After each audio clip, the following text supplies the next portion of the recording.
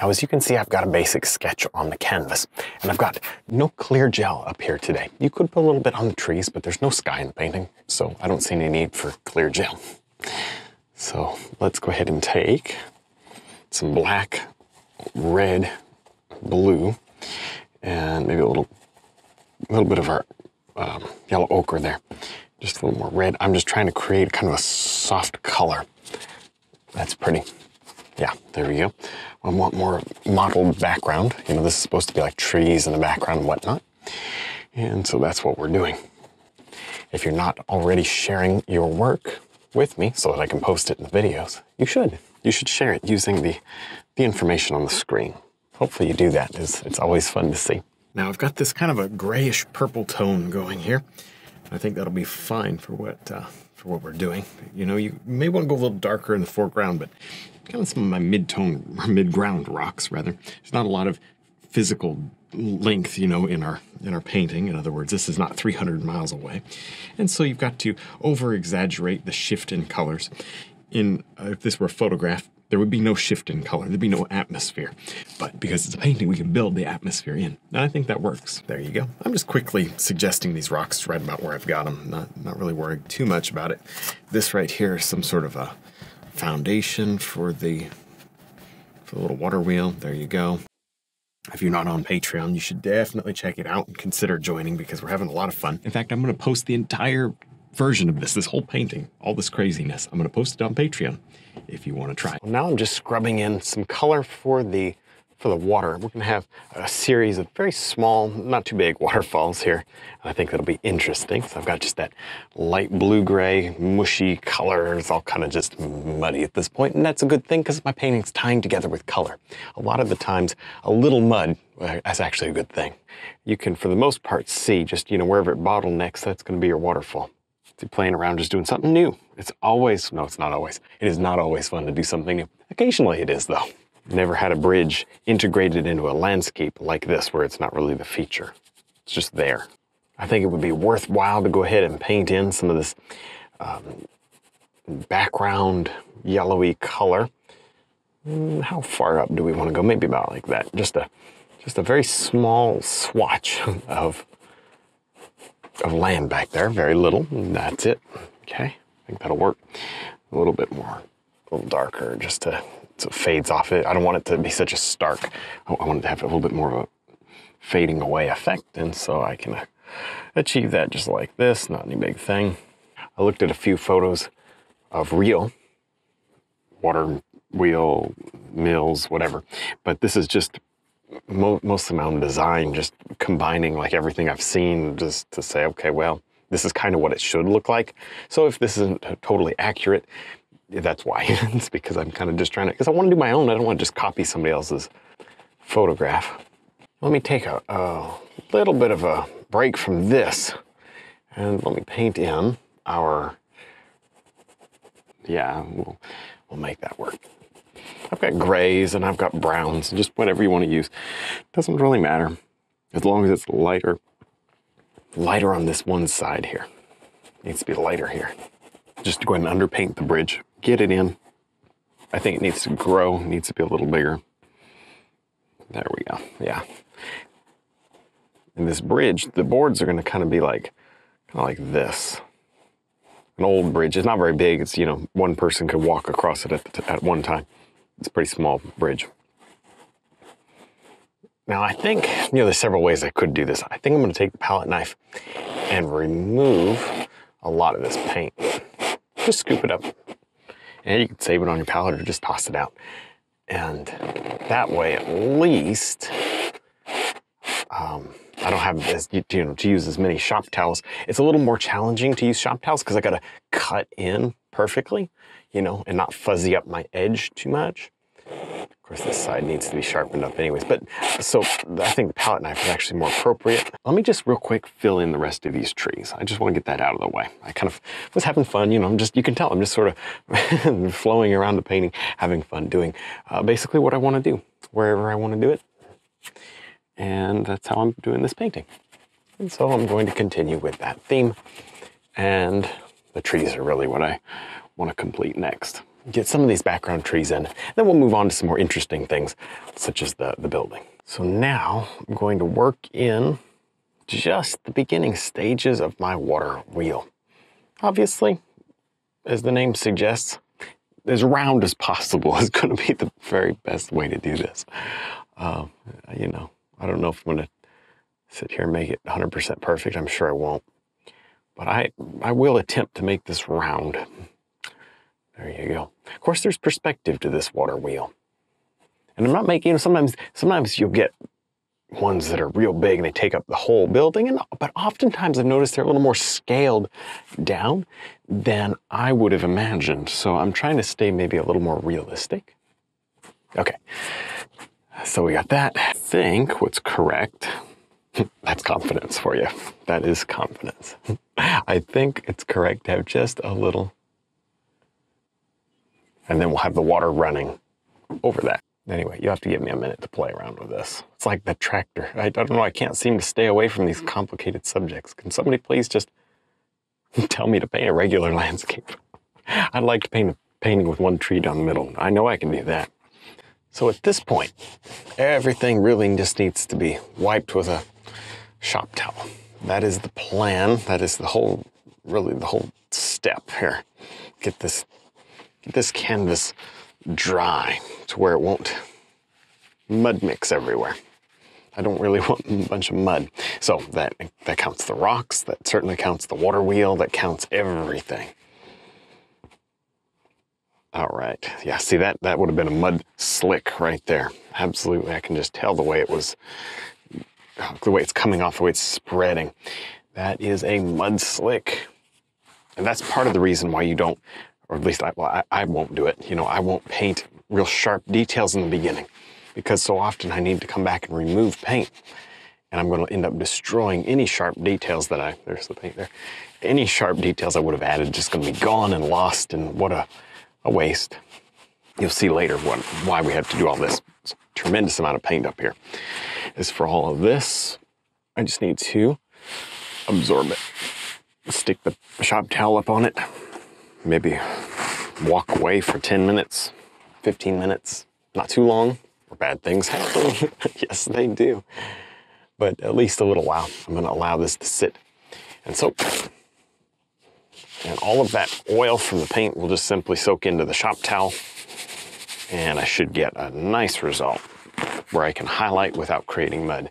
Now it's been just a few minutes. I'm gonna remove these. It's very important that you don't wait too long. When in doubt, pull them off sooner than later because that's, I can tell by the way that that pulled off that that is as long as I wanna wait. Probably been eight or 10 minutes at the most. You know, I can tell this because it's, it's kind of almost difficult to remove. See that? Like up here, this could actually, because it's thicker paint, I could leave it up there a little longer. Down here was sticky. And the problem is your shop towel will literally fuse to the canvas. See, I could have left that one on just a little longer, but anyway, that's it. Makes a big difference. Now I'll take some of this just light brown color and I'm going to begin to highlight my building here. The perspective isn't too aggressive. It's fairly, you know, fairly like even on both sides. So we'll try to, we'll try to make that work.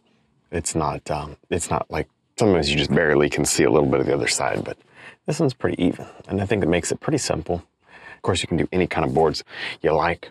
Probably be easier to do boards going vertically, but uh, in fact, I know it would. But I'm going to do them horizontally. Or maybe I won't do them all horizontally. Maybe I'll, I don't know. I don't want it to look like a barn. that's, that's my thought there. Anyway, we'll just keep playing here. So now I'm going to take some uh, little yellow ochre and white, really, maybe just a little black, black and yellow, make green. But if you just put a little like 2% black, it just helps kind of gray it. Plus, I don't care if there's a little tinge of green on these rocks. In fact, I think that's a good thing. We're gonna have so many colors anyway, so it really doesn't make a whole lot of difference. But I'm going to go ahead and just begin to paint in some color on the rocks here. And of course, your light's coming very distinctly through like this.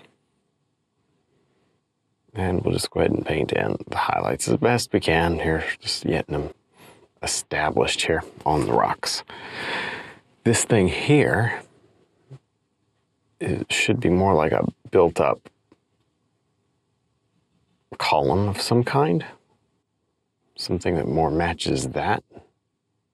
Okay, we'll, we'll make all that work properly later. I'm just playing around trying to get some initial colors and shapes going. Now I'm gonna take a shop towel and crumple it up. And I'm going to just use the texture of the towel. You could do this other ways, but this is to me a very easy way. And just on the backside and on the underside of my rocks, I just want to texture them a bit. I want them, so I'm going to kind of crumple it up and, and be mindful of, you know, okay, that's what I need it to look like, kind of crumpled up and pointy. I'm just going to touch, and all that's going to do is just soften and blend some of this. Not smudging, I'm just tapping. And you could do this with a brush, but I think that texture is, is going to be a little bit more, oh, random than a brush. A brush is going to look more like foliage, where this is going to have more cracks. And honestly, it's all very subtle to begin with. But uh, I do see a difference. You know, I see it. I don't know how many other people are going to notice this in painting.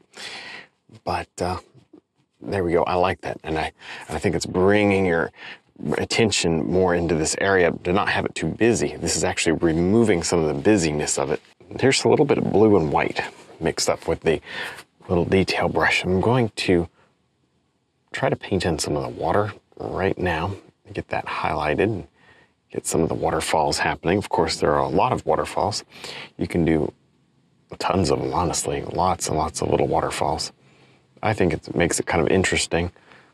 Some little splashes up here. I'm doing it though with the small brush to create a little bit of detail and whatnot that you would expect maybe to see in this area. See that? Okay. We'll just continue like that. Maybe right from over here is a little something going over the rocks there. You can sort of make it up as you go along, really. I'm just painting in some. Now I can highlight and probably will with the with the liner brush with a thin paint. That way it'll stick really easily. So for now, I'm just really experimenting with getting all of these splashes and waterfalls where I want them. There you go. And nothing here is perfect. I'm just getting the overall idea established, really. Well, I've taken just a few minutes to clean up my palette. I thought that would be useful. And uh, let me see, right up in here, I want to paint in just a few little tree trunks. Not too, too many, but just, uh, just enough to kind of give the indication of, oh, okay, there's a little something going on in there. There we go, just a few here and there. And it kind of creates a nice look. Maybe these tree trunks are hanging out and, you know, that's pretty. So I've got this green color mixed up. I'm just going to place in some little bushes here. I'm, I'm, just throwing the color down, then I'll probably take a different brush. You know, a lot of this is gonna have to be cleaned up with a liner brush. I haven't even begun really to detail out this. I just, maybe I have just begun, but you get the idea. And, and I may, I may come in here with the liner brush with the detail round brush something just to change it up a little as the fan brush alone is not going to get this thing to where I want it. I'm gonna put on a few extra details here to this roof. Some of these panels, I'm not gonna go and detail everything out real crazy. I'm just finally getting back to working a little bit on my, on my shed or my mill building, whatever this is. There, that works. Just establishing a few extra colors, you know? There, boom it's some texture. You can do a lot with a little when it comes to stuff like this. These metal roofs, there's really no reason to spend more than just a minute or two on something like this. They're very simple, very straightforward to paint typically. All right, we've got a very small uh, major emergency. uh, I was looking at my building here, something is wrong with the perspective. Uh, with this, how long have I been painting? You think I could do the proper perspective, but rather than trying to adjust all of this with my landscape and whatever, and trying to like shrink the building. Um, here's what I'm going to do. yes. Oh, yes, we're doing this. I'm going to cover up this edge for the most part, not all of it. I think it's going to help just integrate this barn or the building into the painting, and that'll be nice. Create a bit of a slope here. It's all good stuff. It's all good. No problem. It's kind of maybe abandoned. I mean, surely it is, but And so it's okay to kind of have some stuff growing up around it. But the, the perspective of the roof line and this back wall was a little weird. Now that it's covered, though, I'm good with it. Let me stand back and see. Yeah, made a big difference. I'm gonna close it in just a little bit on this side as well. I was planning to do that on this side for sure. Like, you know, all of this was gonna be kind of closed in a little bit more. But now, might as well go ahead and get it in, you know? And that way I don't have to worry about it. Now I've got just a little bit of thinned down white and blue on the liner brush and I'm going to highlight our water. The reason I'm doing that is because when you have so many layers of paint, sometimes it's just easier to use the liner brush and not a different brush because it'll give you a sharp detailed, a sharp texture even over several layers of paint because the paint is so thin, it just glides on. And the brush is very soft. Both of those things working together makes this a good, a good way to kind of finish out anything. That's why we save it for the end, really although this isn't the end, it is sort of the end of the water. Get that figured out right now, you know, get that all established. I think that's pretty good. Maybe not as much on that one, maybe a little more here. So anyway, I'll just play around with this. It's a little slower doing it with a liner brush, but it, it gives a nice result. And because there's so many layers of paint on there now, this is pretty much the best way to do it. Now I'm gonna paint in some little flowers, like a flowering tree. You know, this painting would be beautiful if you did it in autumn. Of course, I'm doing it in spring because uh, autumn's right around the corner. So why not do spring? yeah. Hey, it's fun of art and it's fun of painting. You can do anything at any time, whatever you want to do. It just doesn't matter. You don't have to live on the beach to paint the beach all the time. And uh, I don't think we get into that mistake, you know.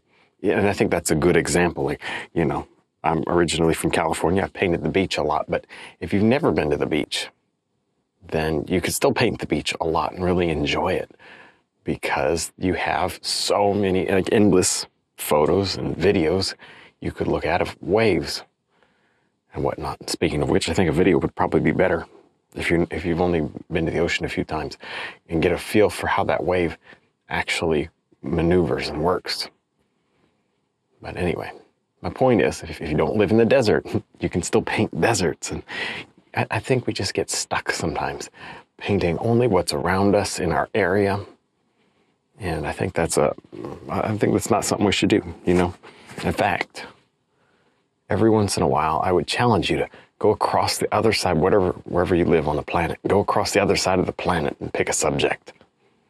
I've done that a couple times in the past. I mean, most of my paintings could be from a lot of different places, but I've done specifically paintings, you know, from, from other places that I've never been. There you go. And I've got a nice light color going on the three quarter or the one quarter inch brush. And I'm going to, I'm going to begin to paint in just some of these boards. And I got to be kind of careful here with the perspective of them. I want it to be, I want it to be right I want it to look correct. It's an old rickety bridge, there's no doubt. But that can only get you so far. And you, you, you probably know what I mean. we've all been there. Haven't we? I think so. I think if you've done any painting at all, you know what I'm talking about. Sometimes things look too rickety and the perspective's just not quite right. Let's go ahead and continue here, just creating some of these boards. And it's softer over here. I want them kind of to, to disappear. Remember, there's virtually no paint down in this area. Anyways, very little. Even some purple things are okay. Maybe like just make it look like dirt or something. I don't know how much it needs it, but I'm just highlighting this little, just the top of maybe some of this rock here. It's going to be partly shaded by these trees, but some, some light's getting through. And, uh, well, you know, there you go. You just play around until you get it just the way you like. That'll work. You know what? Just little by little, building this up. Even here, I gotta be real careful because it's some thin paint left over from like some of that grass that I put in there is a little bit thin because I got oil all over my palette. and that's part of the reason why you don't do the liner brush till the very end because you will inherently thin down your whole landscape whether you want to or not. It's just going to happen. All right, well, that wraps up this painting for today. Don't forget to check out our website, DVDs, Brushline, and of course, Patreon. Thanks for watching.